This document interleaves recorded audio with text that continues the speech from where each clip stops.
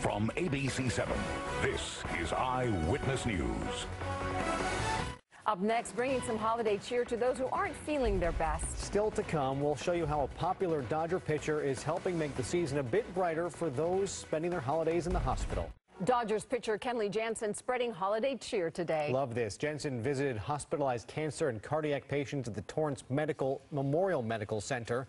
The pitcher spending time with patients, signing a few autographs. Jansen himself had heart surgery less than a month ago.